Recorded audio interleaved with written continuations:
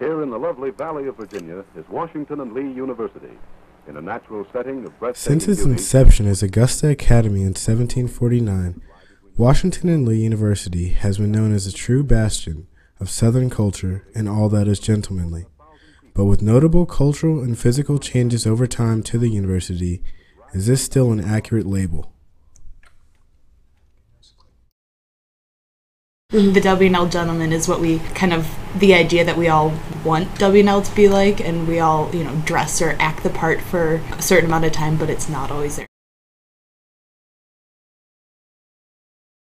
To me, there's really nothing wrong with the idealized W&L gentleman as Lee defined it. Someone said, I've never been to a place where so many, well, they use the word unattractive, but I won't use that word. So many guys can make beautiful girls feel awful. W&L is where budding gentlemen come to die. Yeah, where we walk in the walk or just talk in the talk. Bros before mm-hmm. hoes at this school. Well, I think it's mythical. I think to assume because you've been admitted to a college, which is not admitting you based on whether or not you're a gentleman or not, they have no idea. How would we decide that you're a gentleman just because you showed up on campus? Um, just because you've enrolled at Washington and Lee doesn't define you as a gentleman.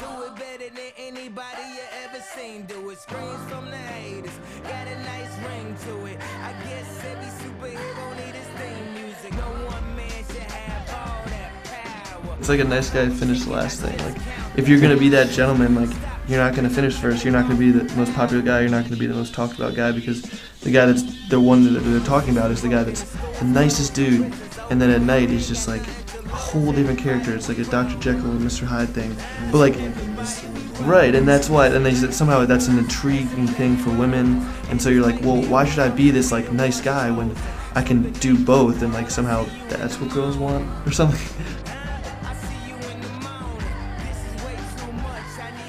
Washington and Lee gentlemen um, definitely play the part of a gentleman more so than they do at other schools.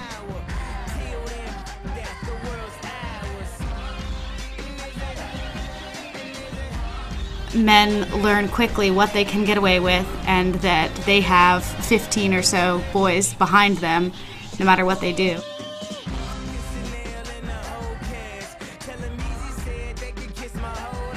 Because I'm not really sure I believe in the concept of a gentleman. Um, I really believe that people are going to be defined by how they treat other people.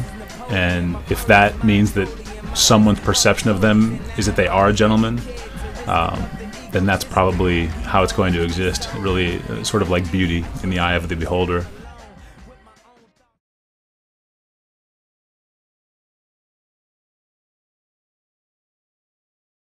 If you're looking for a W&L gentleman, you can spot him from across the room.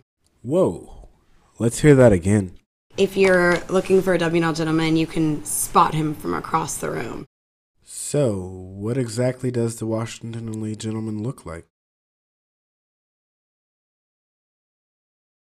Looks well put together and The initial concept of the Washington and Lee gentleman is usually handed off to the Washington and Lee male student even before entering that university, as the concepts of honor and tradition are the main selling points of the university.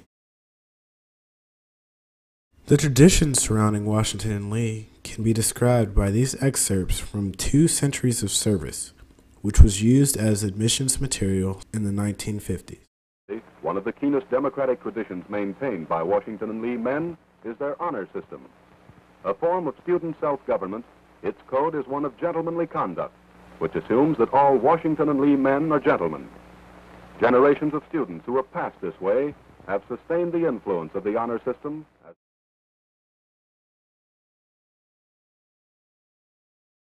humbly a greater future, but for the same causes, to give honest learning, to develop influential personalities, to illumine and to that commend us. Washington's conception of democracy, Lee's exaltation of character. We shall be true to our patron saints. If I may quote one of our teachers, to the one who brought us the wealth he would not claim, to the other who gave us the name he would not sell. The university has, since its inception, been dedicated primarily to providing its students with a broad education in the liberal arts. Through the study of the time-honored disciplines of history, literature, languages, and philosophy, and of political science and government, the student gains breadth of knowledge and maturity of outlook. It would be hard to argue against the historical viewpoint that Washington and Lee University has been and currently is a male dominated and male centered campus. Robert E. Lee said it best We have but one rule here, and it is that every student must be a gentleman. The very concept of the Washington Lee gentleman is both a gift and a curse. All of the positive associations of a gentleman serve to provide males with a model for what to strive to become. The negative side of that is that model is often unrealistic and is a confining mold that can provide males with a purely outward idea of what a gentleman should be rather than internalizing not only the attributes of a gentleman but also the true intent. With around 40% of each incoming class of first years coming from southern states, is the concept of the gentleman something students bring with them, or is it an identity the school is providing? While it would be easy to think of the Washington and Lee male as stuffy, never informal, or never caught without a blazer on, take a look at a group of Washington and Lee males displaying some of their other lesser known talents. Love Native from Washington and Lee University. Check this out.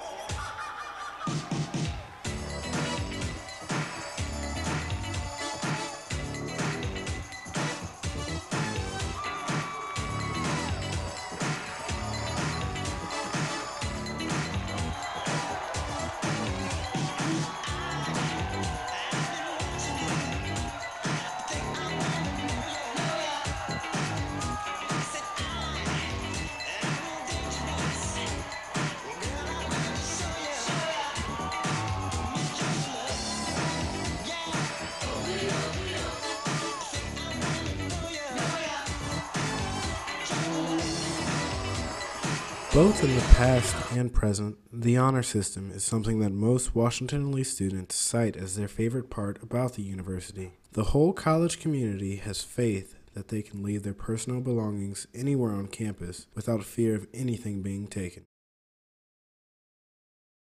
Often without a clerk in sight.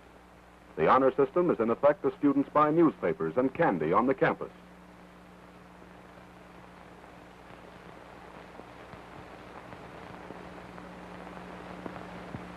In its practical aspects, the honor system may be amazing to the uninformed visitor who finds books, coats, and other personal property deposited wherever convenience demands. Departmental libraries on the Washington and Lee campus are unattended, and students are free to handle the volumes as they choose. In the Central University Library, where these stacks are located, the honor system is in constant operation. Students may browse in the stacks and remove books of their choice. It is one of the few libraries in America where. But does that system of honor extend to all aspects of life at W&L? Idea of being a gentleman at W&L is might just be on the surface.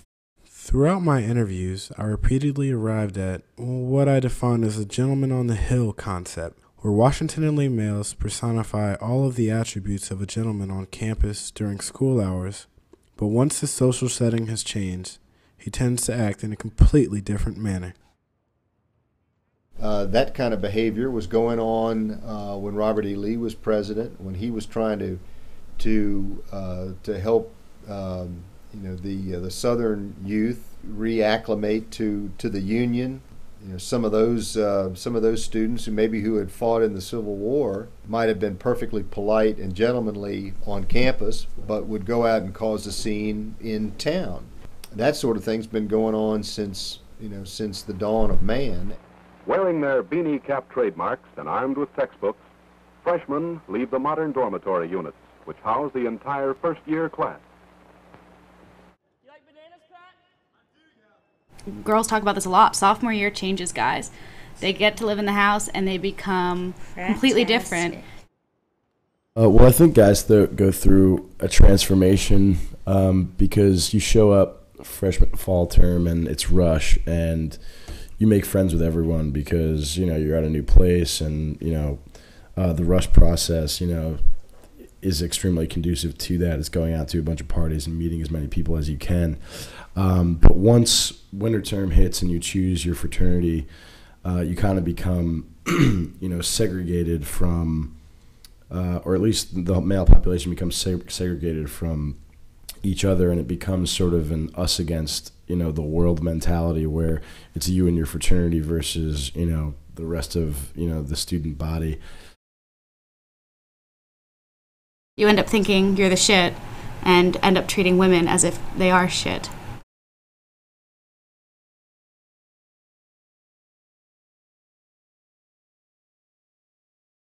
When I think of a gentleman, I think of a man who recognizes the importance of setting a good example. Men are building each other up and women are breaking each other down, and then the men aren't exactly treating the women equally. It's mm-hmm. like, Where does it? where are we? Yeah. Keeps I think splitting the men and women on opposite sides of the campus, separated by two bridges and a river, is not In helping things. In a street. In a hill. It's kind of easy to become like the big man on campus here. When in high school, a lot of the people that are considered like the cool guys probably weren't that awesome. In Michael Kimmel's 2008 book, Guyland, Kimmel presents the idea that college aged males are stuck in a longer pre adult period because of changes in society that don't expect them to be as completely responsible as in the past, because they don't have the pressure to get married or even necessarily find a job. Okay, so guys come in and they join these all male groups, which tends to foster negative attitudes towards women just by default when all guys are living separately from girls and only see girls out at parties. It doesn't foster good gender relations. And then on the women's side, women come in and automatically feel pressure um, with rush. They feel like they're being judged all the time and they have to perform socially and not make a statement on campus. Like they don't pursue as many leadership roles because they don't want to be that girl. But yet they also have to be like, you know, really big into the party scene so the right sororities notice them. Anytime I've had someone visit me here at W&L, I get that comment about all the girls here look look look the same. We dress alike, not even on purpose. I think there's just a, a taste that we all start to develop in how to dress and you know Barbour jacket, Uggs. boots, leggings. We we do. We all look the same. Mm-hmm.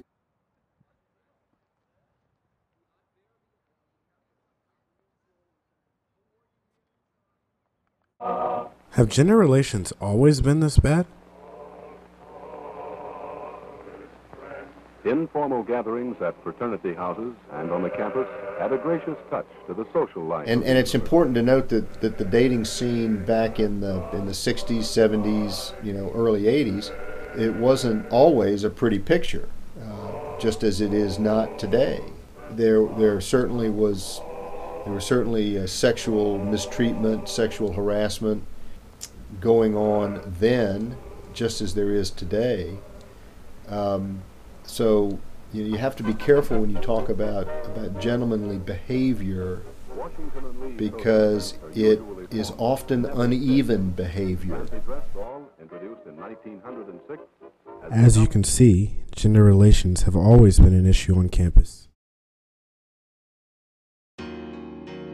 Doing the right thing is, is often doing the hardest thing. Because the expectations are set by the community, the individual gets to live up to those. And because of the demand by this culture that gentlemen are going to act in certain ways, clearly they're not going to lie, they're not going to steal, they're not going to cheat, then those expectations are set by the group and reinforced by the group. If I want to belong to the group, I want to live up to that. What sets us apart from other schools is, you know, is that gentleman honor aspect. That applies to like after graduation because I think that when people realize the kind of reputation that W&L a W&L grad has to uphold, I think that that's a new standard that Mhm. they have to live up to. So whether or not their four years here they acted the way they do when they graduate, I kind of think that that's like a new standard that they might have to face in the real world that will force them to put their past persona behind them and live up to W&L um, and its history and tradition.